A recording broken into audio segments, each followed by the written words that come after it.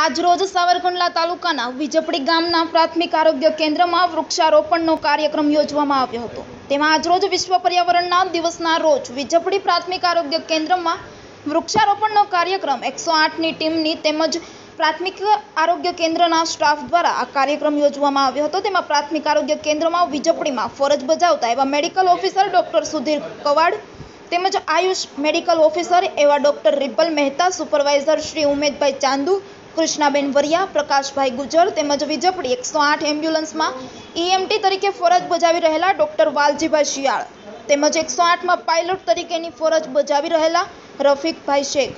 આ તમામ લોકો દ્વારા આ કાર્યક્રમને સફળ બનાવવામાં આવ્યો હતો અને આજરોજ વિશ્વ પર્યાવરણ દિવસના રોજ વૃક્ષ વાવીને લોકોને વૃક્ષો ઉગાડો અને જીવન બચાવોનો ઉપદેશ આપી લોકોને જેમ બને તેમ વૃક્ષો વાવવામાં આવે તેમ પ્રેરિત કરવામાં આવ્યા હતા. Bureau report Ravikumar Dodiya. Loksamna news Vijapadi.